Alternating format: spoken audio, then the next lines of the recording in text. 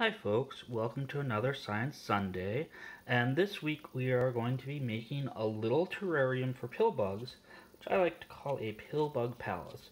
For this, you're going to need a to-go container of some kind, uh, preferably plastic, and with a clear lid, um, and then you're going to have to put holes or marks in the lid. I used an X-Acto knife for this, and my plastic was a little brittle, but you can also use a ballpoint pen, or a thumbtack or something similar. Uh, because this involves live insects and bringing them into your house and using a sharp tool to put holes in the lid of your container, I would really suggest talking to your parents before you do this um, because they may not be keen on the idea of bringing in insects.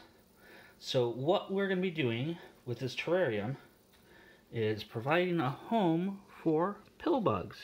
You can see I got a couple here that I found outside. They're the little guys walking around.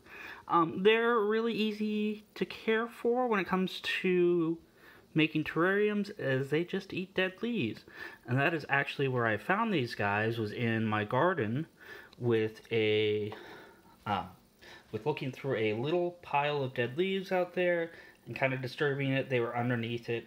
And so to make the terrarium, you just need some dirt. This is some leftover potting soil that I had on the top layer of an outside planter.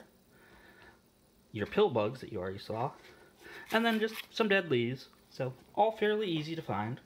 And to make the terrarium, you just put a little bit of dirt in the bottom. About a quarter of an inch. Not for them to get nestled. Then on your dead leaves,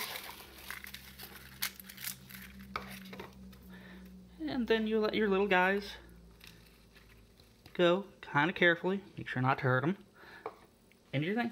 And then, and you have a terrarium for your pill bugs.